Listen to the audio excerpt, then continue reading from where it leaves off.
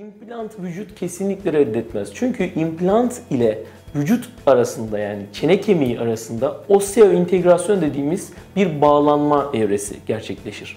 Bu bağlanma evresinde titanyum vidanın üzerindeki yüzey özelliklerine bağlı olarak e, kemik hücreleri implantı tutmaya başlar. Bu iyileşme süreci geçtikten sonra üzerine protez yapılabilir.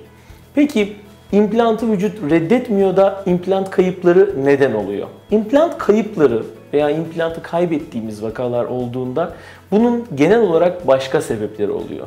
Operasyon sahasının tam kapanamaması, hastanın sigara içmesi, hastanın ilaçlarını düzgün kullanamaması gibi operasyon sonrası evrelerde veya operasyon içerisinde hekimin veya cerrahın o bölgeye implantı, implantı koyma kurallarına, implant operasyonuna, implant prosedürüne uygun yerleştirmemesi dolayısıyla implant kayıpları oluyor. Fakat bu genel anlamda implantı vücut reddetti olarak çevriliyor.